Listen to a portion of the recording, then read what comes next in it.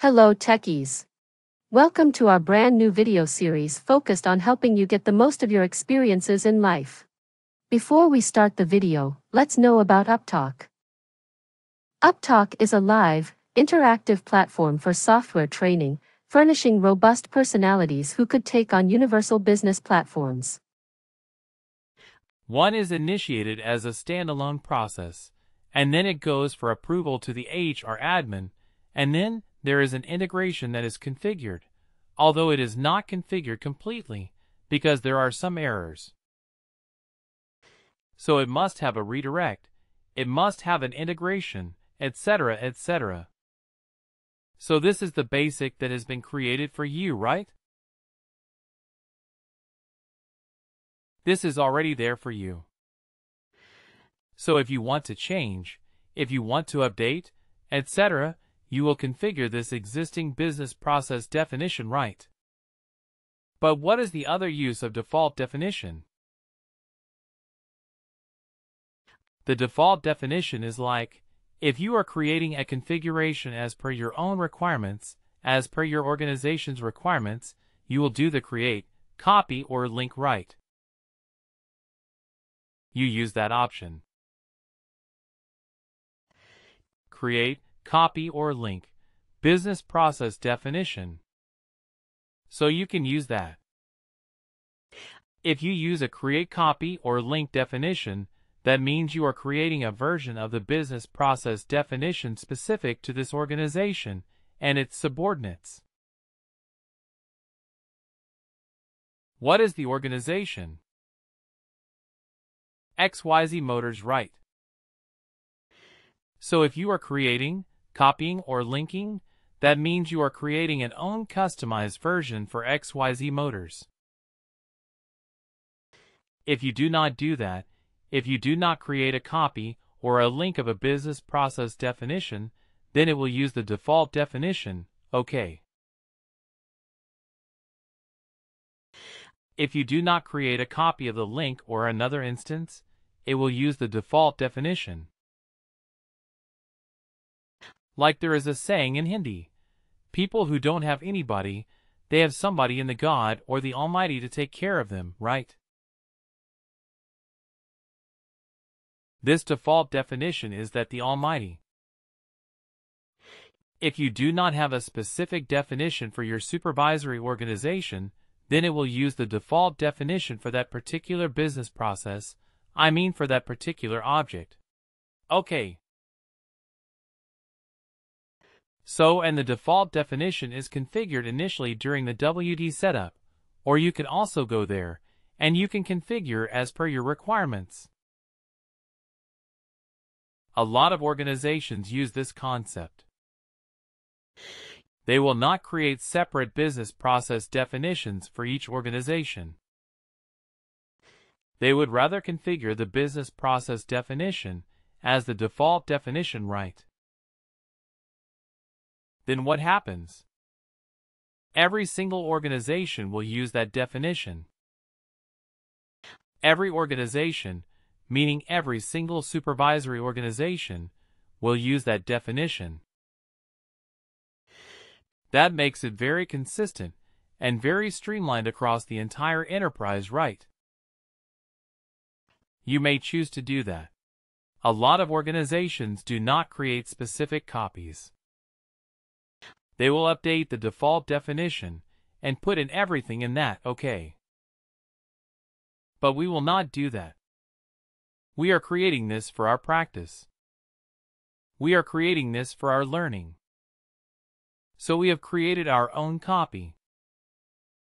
So let's go to our hire business process definition. So you search for hire, and you see that we have created a specific business process for XYZ Motors.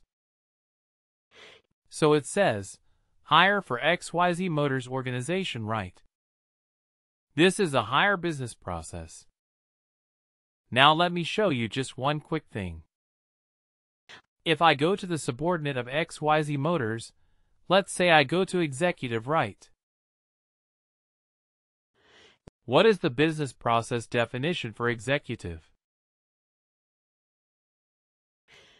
So again, the same way I go to the related actions, I go to business process and business process definitions for business object. Okay. And if I click on the hire, you see it still says hire for 1001 XYZ Motors.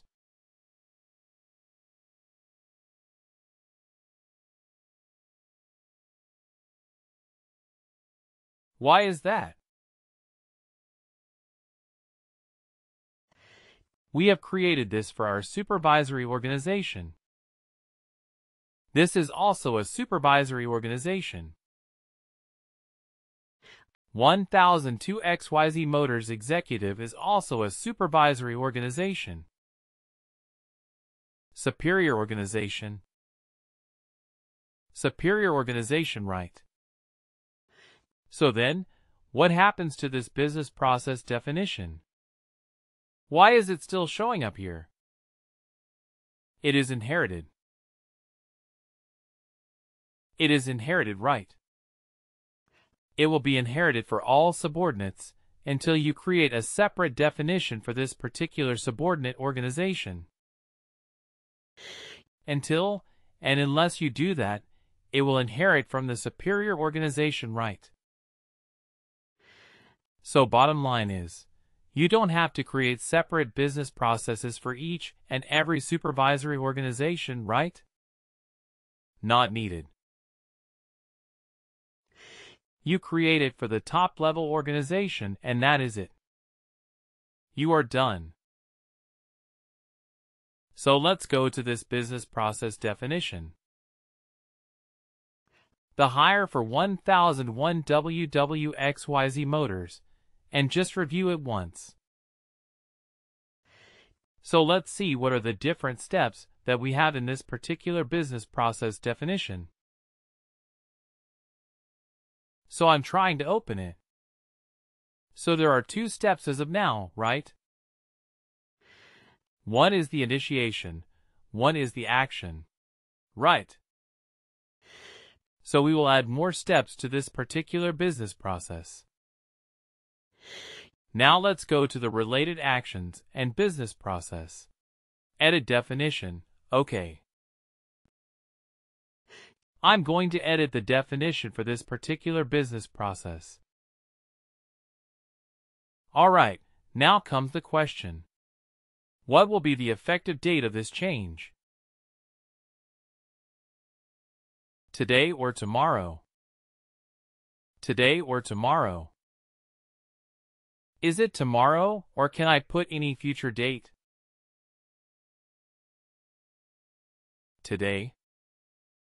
Can I put a today's date is fine, right? Today's date is 6th of April, as per the system time. So today's date is fine. Can I put yesterday's date? No, not possible. Today's date or future. Today's date or future date. Let's say I don't believe that I want to create a past effective date. 1st of April. Oops. Immediately, it says, enter an effective date. Okay, it gave me a warning right. It says, enter an effective date that's not in the past. Okay. You can't submit changes to the business process definition when an event is already in progress. So that clearly tells me, hey, stop right. Do not do that. So we have to use today's date. So let's go here and use today's date. Well, Workday is happy. Click OK. Now let's see if it is opening in the edit mode.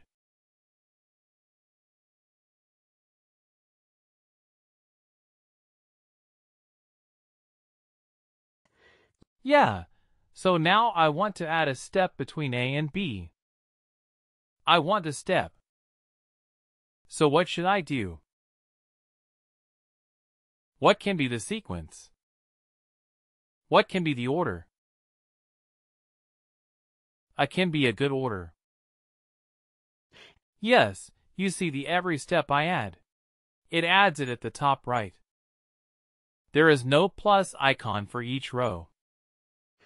Unlike what we have seen for conditional logic, conditional rules, eligibility rules, we don't have this plus or add row icon for each row. So we have to be very careful with the order. The value that we put in for the order. Okay, so if I put something as AA after I save it, it will fall. I mean it will align itself in between A and B right. But for the time being it will show up at the top. Okay, so let's say I want to insert an approval kind of step and the manager is going to do the approval. So I have put in the order. The type of the step is what? Approval. Approval right. Please do like, share and subscribe to our channel. For more information, contact us at sales at therateuptalk.com.